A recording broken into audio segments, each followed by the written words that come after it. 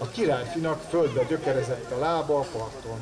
Szeberényi Gyula Tamás alpolgármester mesemondása nyitotta meg a térségi mesekuckót a Lucakútnál a helyi termékünnep és Hungarikum Fesztiválon pénteken kora este. Az alpolgármester a Három arany nyilvessző című magyar népmesét mesélte el a jelenlévő kicsiknek és nagyoknak. 2020-ban Hungarikum lett a magyar népmesék rajzfilm sorozat, ennek apropóján kiemelt helyet foglalt el a vasárnap lezáruló fesztiválon.